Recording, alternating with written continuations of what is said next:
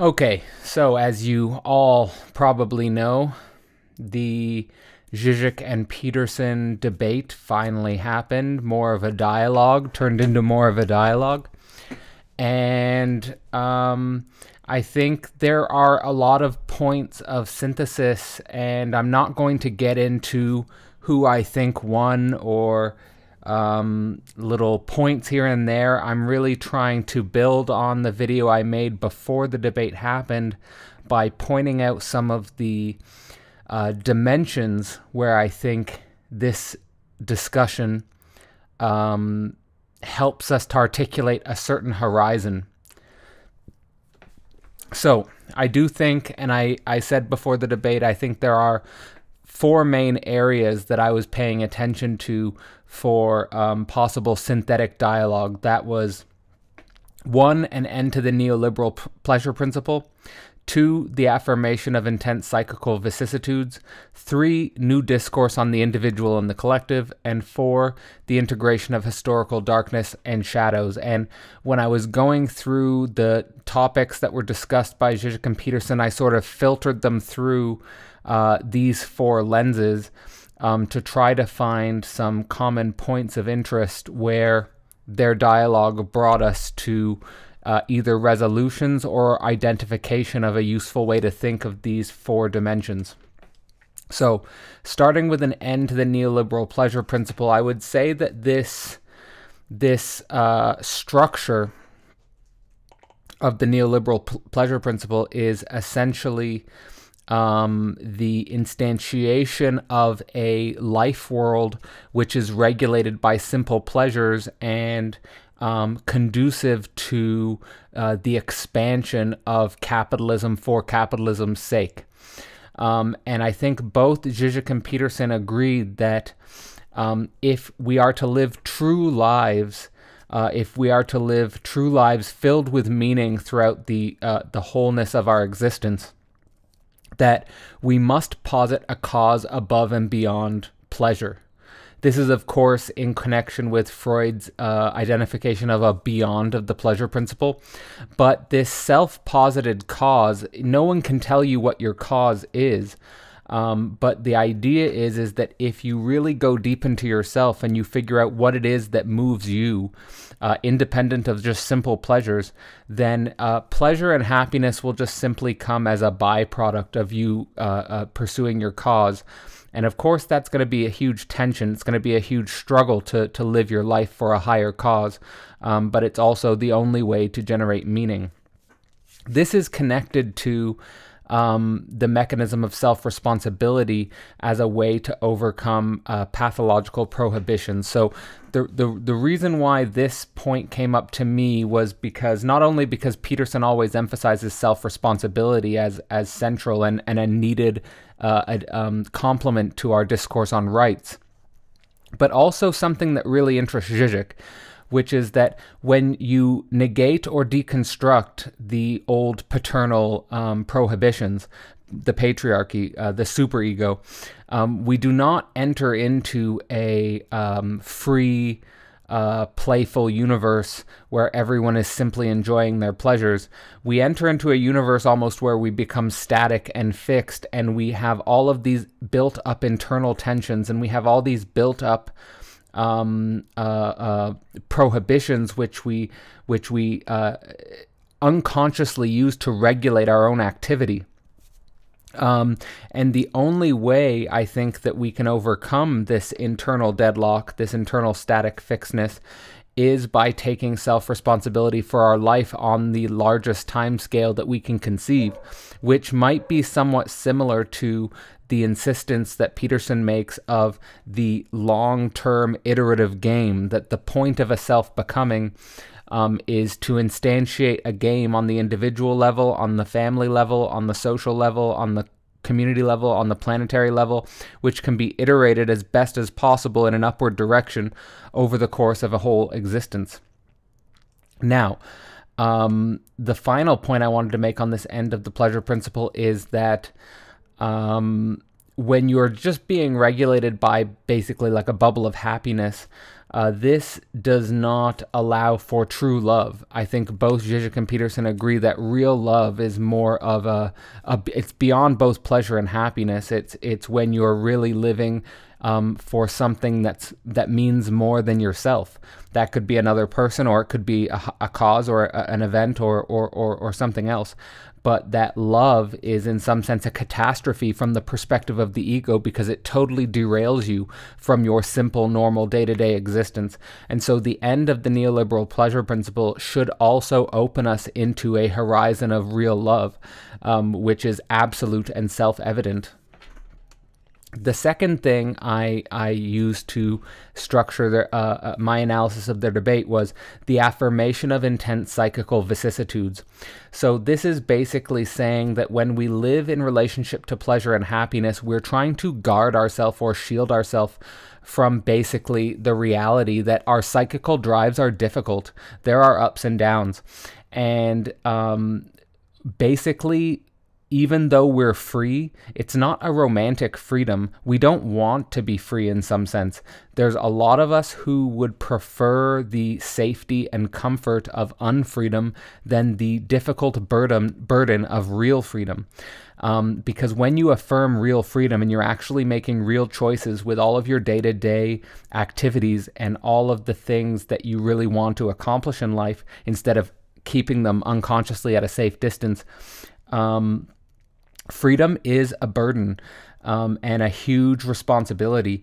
Um, and w- as we approach the future horizon, um, we are forced to be free. Um, we must we must make decisions that are aligned with that space of um, free choice, which we all have accessible to us at any moment.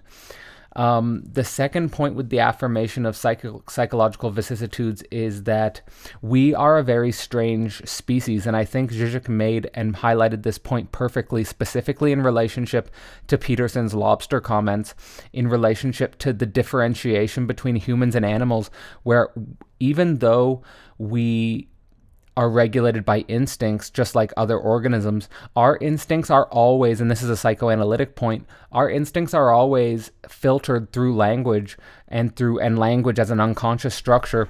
And so our instincts become metaphysical passions.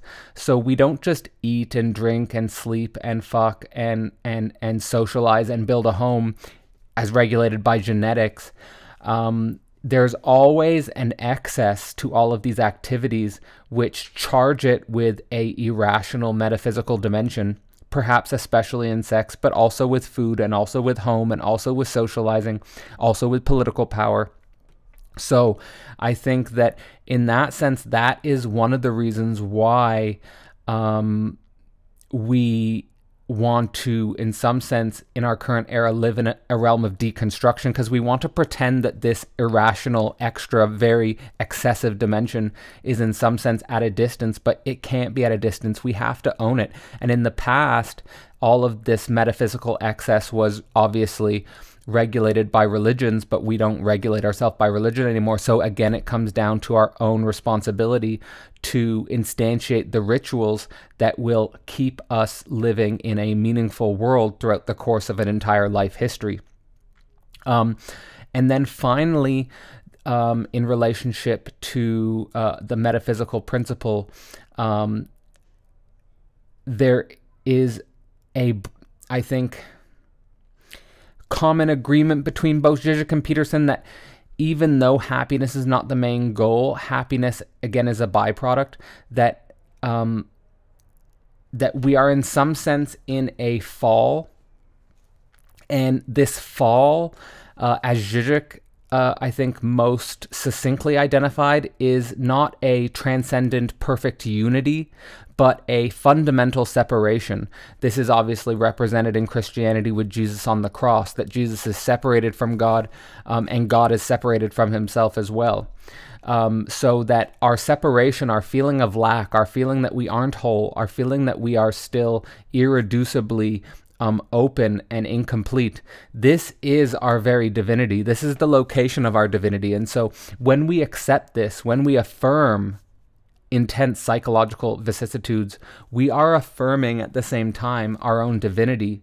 Um, and that should be a place where both Zizek and Peterson agree because, as Peterson always says, the, he believes the Logos is divine and, and, and always emphasizing the individual and Judeo Christian tradition. So I think they're aligned with this as well.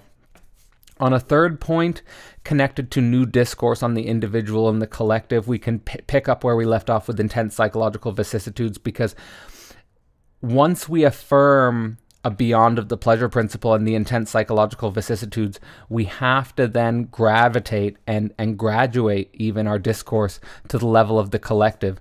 And this is something where Peterson really fails and, and where Zizek really interjected and, and um, made some precise comments that are um, essential for, in the end, bringing them together because as they both believe, our, our current uh, discourse on the collective is all politically correct nonsense and um, basically surface level identitarian categories dominate our social analysis, and that this is just um, not getting to the core of real social change and not getting to the core of the real problems, the underlying tensions, which, at least from Zizek's point of view, are fundamentally socioeconomic and political economic, which is why he feels the Marxist categories and uh, you know, Marx's books on capital are still of essential importance to understand and to study, in which I agree.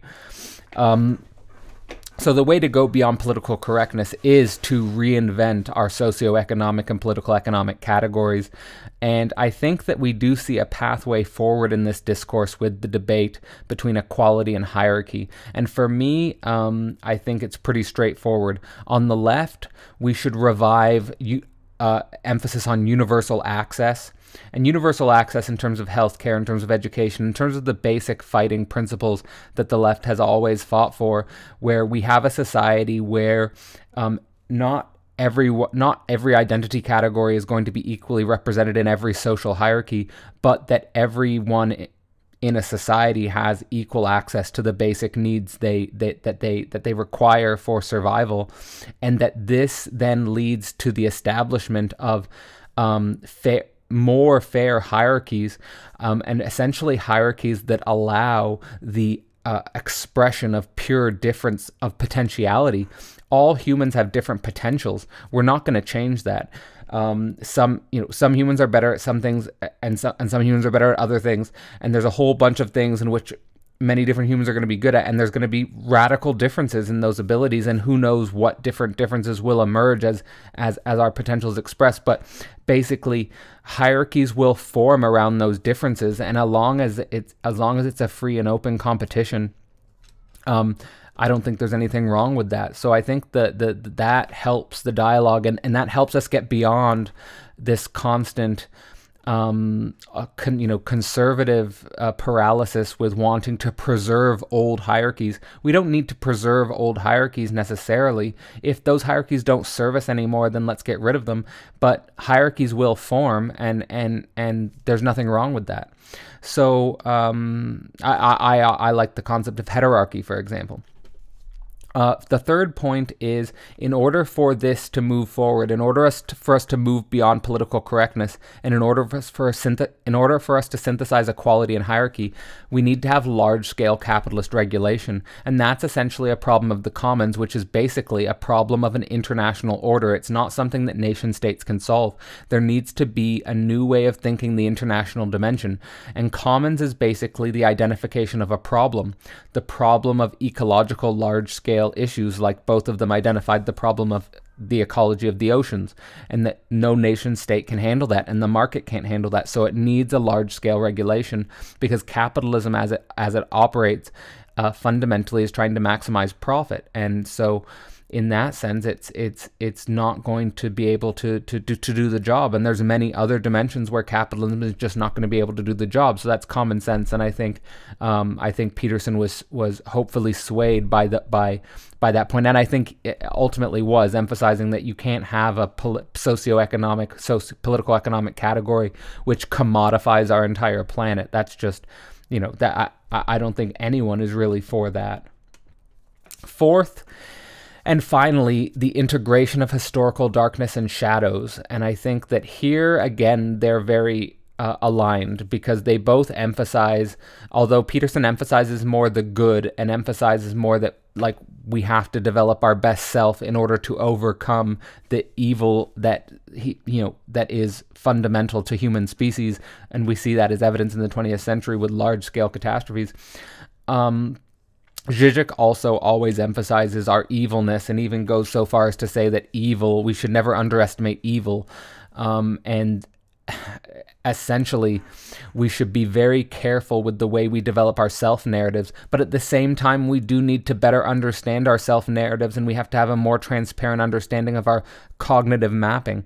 But I would say the emphasis that both of them would agree on is that we can't have our narratives cover up our real darkness that our narratives have to include our real darkness. We have to be we have to approach our darkness. We have to go closer to our darkness. We have to be, be aware that it's within us. And our narratives are just a shield or a mask unless they do that unless they achieve that function. So i think that's a huge work. Um, and that allows us to basically have a larger and more complex conversation about the nature of good and evil and the nature of ethics. And I think here yeah, the Judeo-Christian tradition is essential here because, and the tr- the transition in the West to move towards or tend towards more Oriental traditions is a mistake because the Oriental traditions don't really have a sophisticated understanding of ethics in the se- in the way that the Judeo-Christian tradition does. And I'm not saying the Judeo-Christian tradition is the only way we should uh, view ethics. I think psychoanalysis, of course, approaches ethics, and Kantian philosophy approaches ethics in a new way. Um, but the, the the crucial paradoxes to to um, focus on are still essentially like metaphysically religious and political in the sense of our power structures are irrational um, as evidence i mean donald trump for example. I mean but any political figure i mean there's an, always an irrational dimension to the election of a leader or a figure a master figure um, and there's always something more than just mere competence or just mere functionality. And so that's really uh, something that I think it's it's a it's it's kind of a flaw in Peterson's thinking where he's always emphasizing hierarchies of competence. But I think that yeah, this metaphysical dimension is irrational. It's not just about competence. And um, we have to think about the nature of evil and goodness in relationship to these positions of power. And I think that that's an essential social conversation, essential for future of social theory. Um, and finally, I think Zizek really hammered home why he's a Hegelian and why he identifies as, with Hegel and not Marx, because he also feels like Peterson that that the problem with Marxism is its inherent teleological structure basically that the Marxist knows what world history is tending towards world communism and they know how it will look and they know how to bring in the utopia and this is fundamentally a problem because the future is open.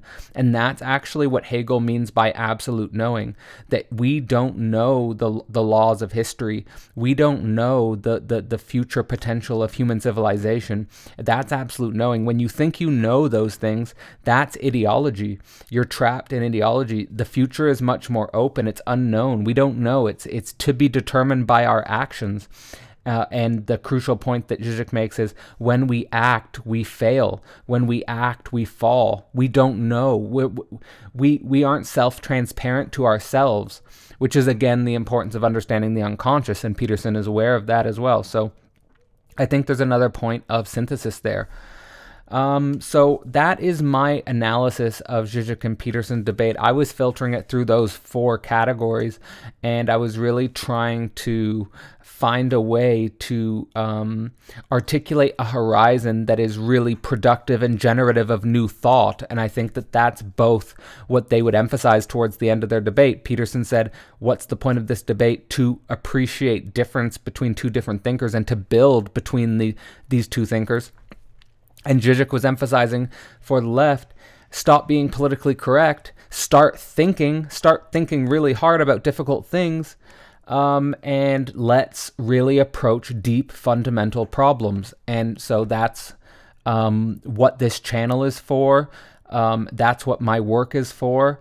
Uh, and I hope you appreciated this video and I hope you appreciated this analysis of Zizek and Peterson.